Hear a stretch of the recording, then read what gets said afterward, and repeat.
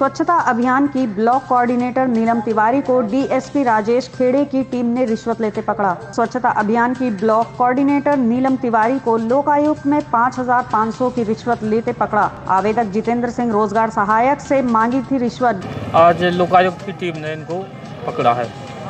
रंगे हाथों। किसे?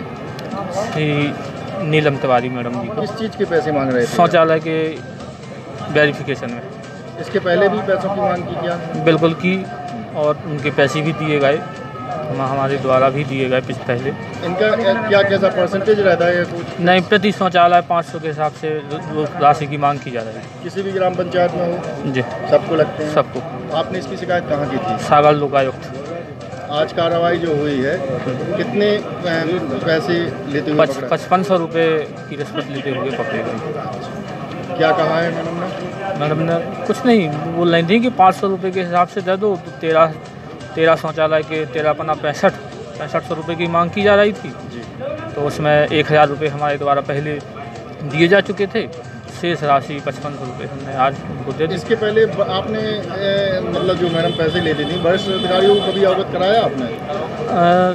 भ्रष्ट अधिकारियों को ही शायद भनक होगी क्योंकि एक बार श्रीमान जी माननीय विधायक जी प्रतिनिधि हैं जो सियाराम रावत जी उन्होंने ग्रुप में भी कमेंट किया था। इसके जवाब में किसी ने कोई तल्ख नहीं दिया। आपने तो, इसकी लोकायुक्त में इस कब शिकायत की थी? हमने इसकी शिकायत सोमवार को की थी। सोमवार को। हमने समय दिया होगा पिछले सोमवार को। पिछले सोमवार को। डीएसपी राजेश खेड़े की टीम ने रिश्वत लेते पकड़ा। छतरपुर जनपद पंचायत में चल रही लोक आयुक्त की कार्यवाही शौचालय के पेमेंट करवाने के लिए मांगी थी साढ़े छह हज़ार रूपए की रिश्वत। आज क्या कार्रवाई आज हमने एक रेप की कार्रवाई की है। विकासखंड समन्वय अधिकारी नीलम तिवारी को पचपन सौ रुपये रिश्वत लेते हुए पकड़ा है।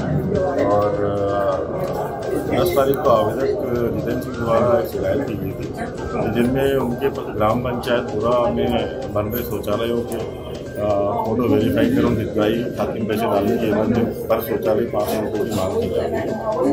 प्रतिक्रिया सही पाया और आज अंदर देखने कार्रवाई की पचपन सौ रुपये रिश्वत लेते हुए हमने नीलम तिवारी विकासखंड समन्वय अधिकारी को भ्रष्टाचार अधिनियम की धारा सांसद कार्रवाई की जा रही है।